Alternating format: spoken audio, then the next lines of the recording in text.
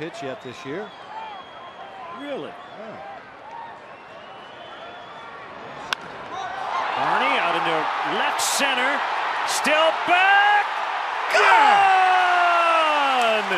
Cubs win! Darwin Barney with a two-run homer.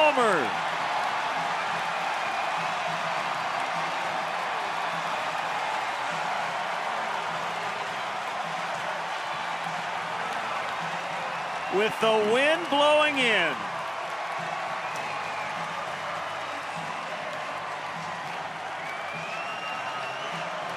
Wow. Go figure. One of the least likely candidates to hit a wind beater into the gale out of the north today. When Barney, behind in the count, gets a slider spinning up there in the middle of the plate, barrels it up. When I saw Maybin start to break it down in center field, I thought he had a beat on it, but that ball gets out of here. Well, Darwin has been our post-game guest for each of the last two days, and uh, looks like it's going to be three in a row.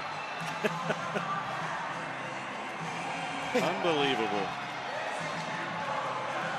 So the Cubs win it. They come all the way back. They score the final five runs today, and Pat Boyle is on the field with the Heroes.